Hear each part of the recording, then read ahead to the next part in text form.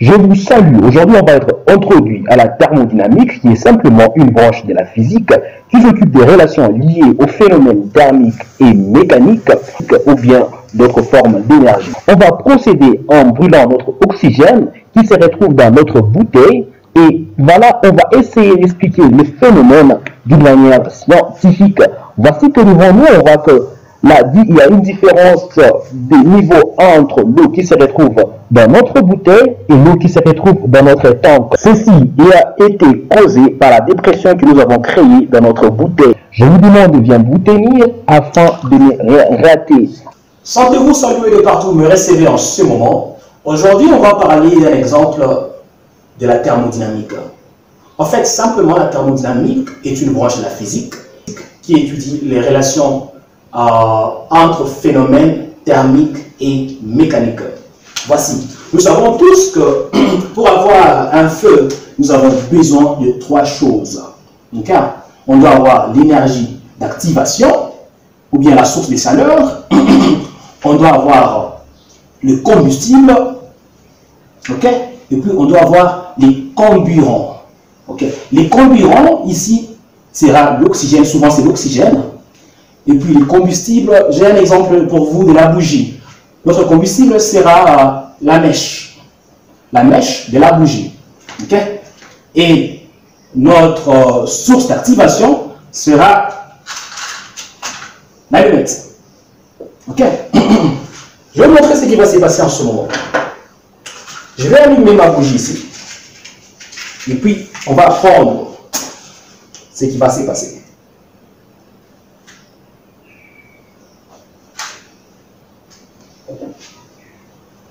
J'ai devant moi une eau simple, j'ai essayé de la colorer avec l'encre, juste pour faire la différence de ce que vous allez voir se passer en ce moment. J'ai ma bouteille vide ici. Regardez ce qui va se passer.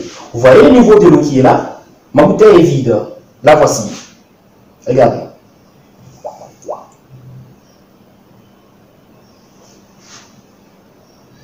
Là, vous voyez que le niveau d'eau est en train de monter dans ma bouteille. Vous voyez là? Voilà. Maintenant, Qu'est-ce qui s'est passé? Je vais maintenant expliquer ce qui s'est passé. Nous savons tous que la pression atmosphérique, la pression atmosphérique, ou bien la pression, la pression en fait c'est une force surface, c'est une force normale par unité de surface. Et puis, et puis nous savons tous comment trouver la pression. La pression est égale à la densité Là, si on doit trouver la pression atmosphérique, nous avons la densité de l'air, la densité de l'air multipliée par la constante de l'air multipliée par la température ambiante. Et notre température, considérons que nous avons une température de 21 degrés Celsius. Ok Alors, ce qu'on va, va faire, c'est que nous aurons notre densité de l'air ici qui est de 1.2, la constante de l'air qui est de 287, ok C'est 287 joule par kilogramme fois euh, la température en Kelvin. C'est signifié par la température en Kelvin. Donc 273 plus 21. Et là, nous obtenons 101 253,6 newtons par mètre carré. Ok? Maintenant, regardez. Là, nous avons l'eau qui, est à la pression atmosphérique, qui est là, parce que la pression atmosphérique. Maintenant, ce qui se passe là, c'est qu'on a essayé de créer une dépression dans la bouteille et maintenant, la dépression dans la bouteille a forcé l'eau d'entrer dans la bouteille. Donc, la dépression dans la bouteille a essayé de tirer l'eau comme on tire avec la seringue de notre tank afin qu'elle puisse se diriger vers la bouteille. Mais qu'est-ce qui s'est passé? Nous avons la densité de l'air. OK? Mais non, nous, avons, nous avions notre flamme là, ou bien notre flamme, avec la bougie, et que la bougie, pour que la flamme puisse être flamme, à part, au départ, a besoin de ces trois choses, mais pour qu'elle puisse continuer à être flamme, il, faut, il lui faut le combustible et les comburants. Alors, notre comburant, c'est ce qui m'intéresse, c'est l'oxygène. Alors, notre bouteille ici qui est là, a été dépouillé de l'oxygène qui était en train qui était en train de donner la force à notre flamme, ou bien de donner vie à notre flamme. Cependant, quand notre bouteille a été dépouillée de son, de son oxygène, ce qui s'est passé, c'est qu'il ne restait que l'azote. Car nous savons tous que la formule chimique de l'air, c'est l'azote, l'oxygène et bien notre gaz. Mais principalement, nous avons l'azote et l'oxygène. Et l'azote prend 78%, l'oxygène prend 21%. Alors, étant donné que nous n'avons plus d'oxygène dans le sens, plus l'air. Étant donné que nous n'avons plus d'oxygène là, nous n'avons que l'azote. Vous me comprenez, nous n'avons que l'azote et bien d'autres gaz, plus d'oxygène. Alors, la pression dans notre bouteille est alors devenue égale à, je mettrai ça ici, est devenue égale à la densité de l'air, mais cette fois-ci dépouillé de l'azote, pardon, de l'oxygène, ok, donc ça veut dire que 1, ceci, euh, la densité de l'air sera multipliée par 0.79, ok, 0.79. Ceci multiplié par notre constante des gaz, cette fois-ci, non plus la constante des gaz de l'air, mais la constante des gaz de quoi? De l'azote. Je prends l'azote parce que principalement, c'est l'azote qui reste 78%. Les 1%, c'est juste l'autre gaz qu'on peut ignorer. De l'azote. Et puis, ceci multiplié par quoi encore? La température. Vous pouvez dire que la température a changé, mais là, la température a changé, lui, mais faiblement, parce que là, avec euh, la flamme qu'avait notre bougie, n'était pas assez suffisant pour changer, pour donner une grande différence de changement de température dans notre bouteille, vu l'espace de la bouteille. Ok? Alors, ceci sera donné. Alors, la pression sera, nous savons que euh, euh, la densité maintenant sera, de l'air sera 1.2 multiplié par 0.9. Et là, nous aurons ici 0.900 48, ok? 1.079, ceci multiplié par R de l'azote. Maintenant, la constante de gaz de l'azote est de 296.8, mais ceci doit être multiplié par 0,78 parce que l'azote fait simplement 78% dans l'air. Donc je vais obtenir, oui, c'est là, multiplié par 0,78, je vais obtenir 231.5 4 fois 231.54. Ceci multiplié par ceci multiplié par notre température. La température absolue, bien sûr, 273 plus 21. OK? On obtient ici une pression de, trouvez la calculatrice, 0,900 48 multiplié par 231.504, ceci multiplié par 294, ceci me donne 64 522.9 newtons par mètre carré. 64 000 522 newtons par 522.9 newtons par mètre carré contre 101 000 101 253.6 newtons par mètre carré. Ce qui s'est passé, c'est que vous avez compris de manière euh, en faisant les calculs. C'est comme qui dirait, on était en train d'exercer une pression dans l'eau. Ok? En exerçant la pression dans l'eau, l'eau a essayé de trouver un point d'échappement. Et son point d'échappement était quoi? La bouteille. Ça veut dire quoi? Donc là, nous avons la pression de l'atmosphère qui est de 101, à 101 000 combien? 101 253 newtons par mètre carré qui s'exerce là. Et dans la bouteille, nous avons 64 522 newtons dedans. Donc nous avons plus de pression là qui est là. Et j'avais bien, bien dit au départ que la pression, c'est une force par unité de surface. Donc là, l'unité de surface de la force est inférieure, qui est l'unité de surface de la force ici. C'est en quelque sorte cela, d'une manière simple. ok? Voilà. Bienvenue à vous. Aujourd'hui, on va apprendre pourquoi les œufs expirés se comportent différemment des œufs frais lorsque ceux-ci sont placés dans une eau à une température ambiante. Et on va aussi tenter d'expliquer ces phénomènes d'une manière scientifique. Alors, je vais vous demander d'être à l'écoute et de vous réjouir ce qui va suivre. Vous recevez, je vous salue. Aujourd'hui, nous avons euh, une expérience simple et un exemple simple avec des explications aussi simples. Ça, c'est un plateau d'œufs. Et ça, ce sont les œufs normaux que nous utilisons euh, dans nos cuisines, à la maison, ainsi de suite. ce sont des œufs à des dimensions euh, normales. Quand je vois les dimensions normales, je vois la dimension moyenne. Donc, du 60 grammes, 55 grammes. Et j'ai un temps. Donc, d'eau, cette eau, c'est une eau qu'on peut prendre du robinet. À une, à une température normale, entre 18 degrés et 28 euh, degrés Celsius. Je vais plonger ces œufs dans l'eau et nous allons voir ce qui se passe. Je vais démontrer ceci d'une manière mathématique ou scientifique. Après que nous ayons constaté ce qui va se passer, c'est que parmi ces œufs, il y a des œufs qui sont déjà expirés et il y a des œufs qui sont encore frais. Voilà que je plonge mes œufs dans l'eau. Oh il y a deux de mes œufs qui sont à la surface de l'eau, presque en train de flotter, et il y a trois de mes œufs qui sont en train de toucher les fonds de mon tank. Voici ce qui se passe alors.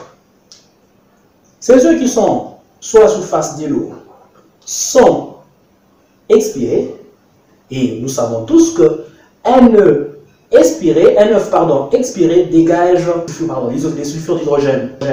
Donc, en dessous de la coquille de notre œuf ici, le sulfure d'hydrogène est emprisonné. Ok? Maintenant, j'explique maintenant ceci d'une manière scientifique ou mathématique. Voilà. Un œuf normal, ok, un œuf normal, œuf, a une densité de 1.031 g par centimètre cube. Vous devez le savoir. Et l'eau du robinet a une densité de 0.997 grammes par centimètre cube ou encore presque 1 gramme par centimètre cube. Voilà. Et nous tous, nous savons comment trouver la densité. La densité est égale à la masse divisée par le volume. Et euh, nous avons ici une masse entre 55, entre 55 et 65 grammes. On va pas partir en trop du calcul là-bas, mais nous tous nous savons comment trouver le volume d'une ellipse. Nous savons que notre œuf là a une forme ou une, a une forme d'une ellipse. Et le volume d'une ellipse est donné par euh, la dimension transversale de notre œuf multiplié par la dimension diamétrale, qui est, que j'ai nommé A, et puis ceci multiplié par la dimension longitudinale, longitudinale que j'ai nommé C, les tout multiplié par pi, divisé par 3, et puis multiplié par 4. Donc 4 divisé 4 sur 3, multiplié par pi, multiplié par b, multiplié par a, multiplié par c. ok?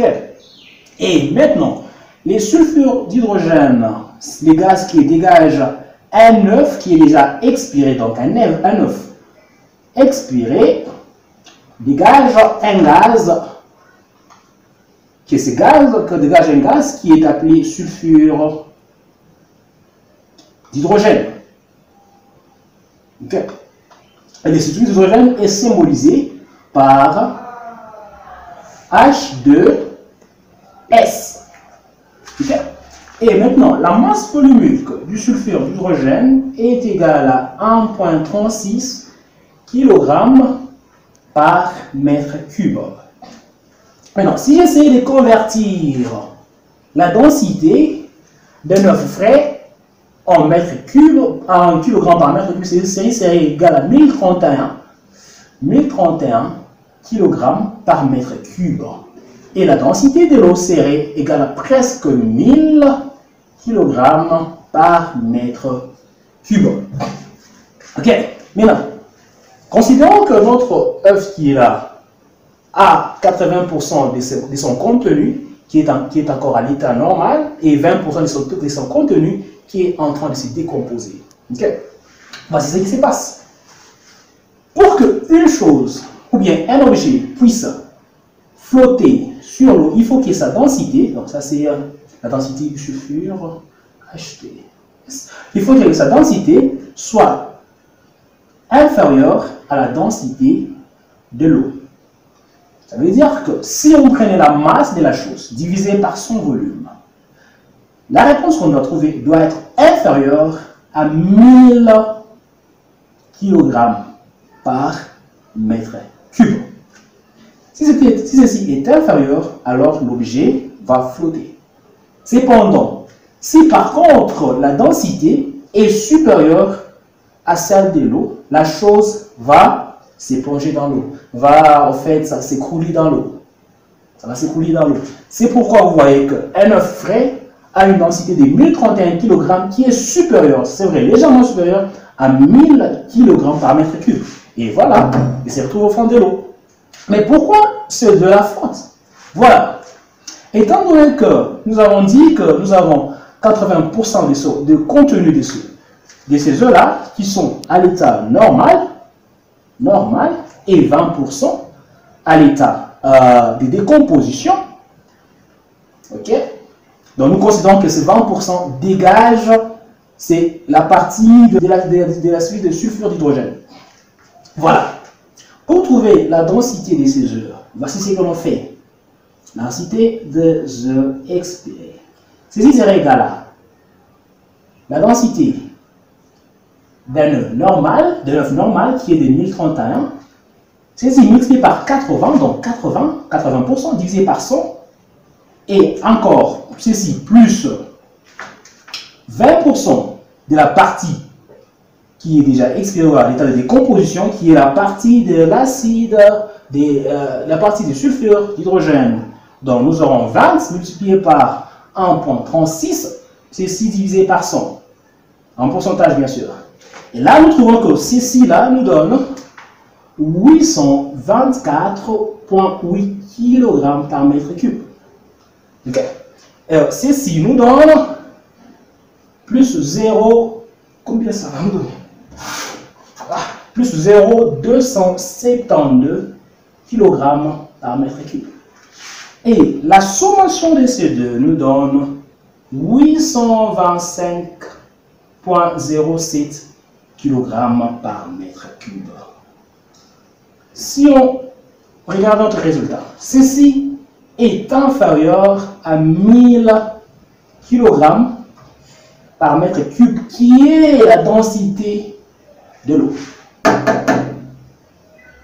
Comme je disais, si la densité est inférieure à celle de l'eau, ça flotte. Donc, c'est pourquoi ça flotte.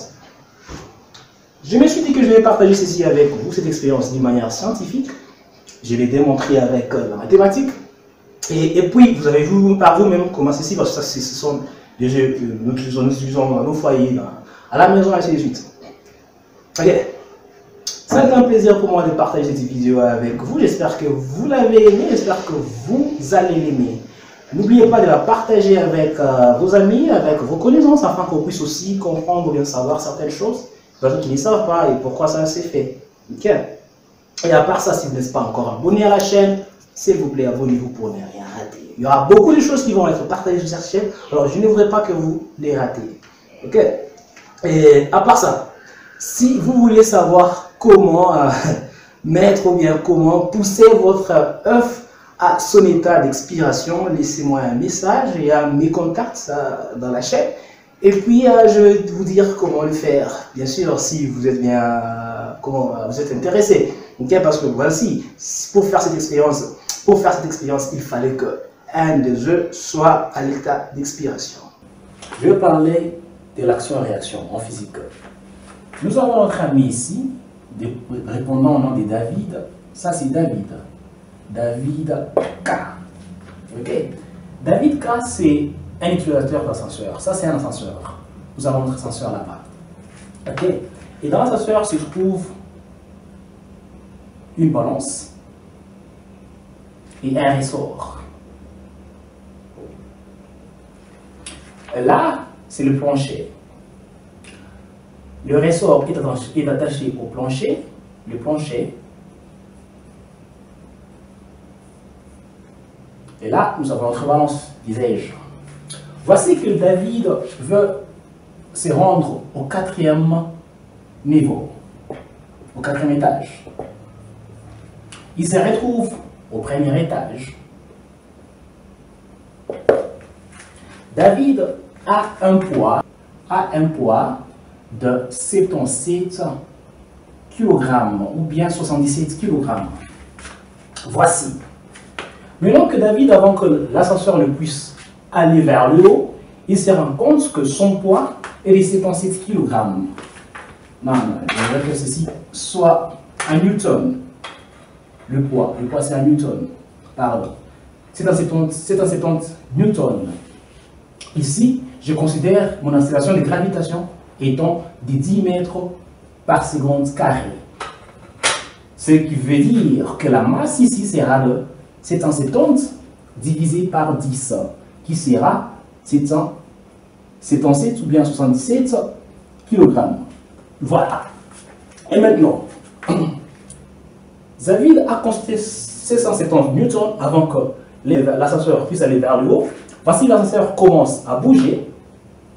Nous avons une réaction au niveau du plancher.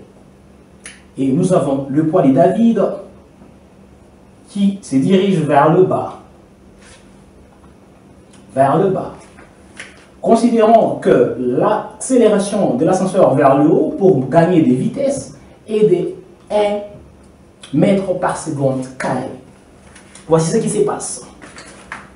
P, P qui est là, est à considérer comme le poids apparent qui est une réaction par rapport au poids de David et par rapport à l'accélération.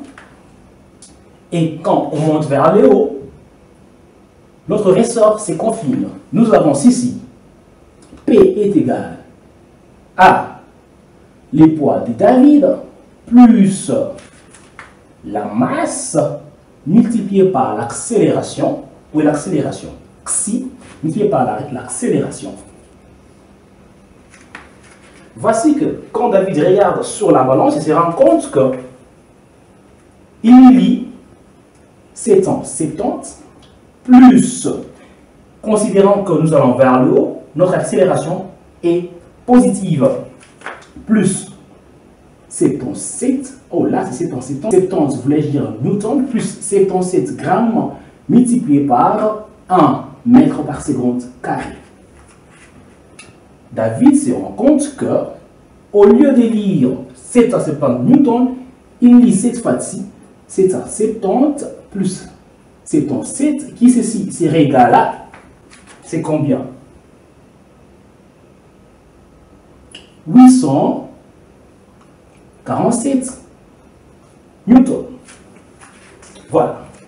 Ceci, c'est une expérience que nous tous, chaque jour, nous traversons. Au moins quelques-uns par semaine, au moins. David, je crois, il utilise l'ascenseur au moins deux fois par semaine. Mais non, si c'était le cas où David voulait se rendre du quatrième niveau au premier niveau, voici ce qui se passe. Son accélérateur, cette fois-ci, est négative.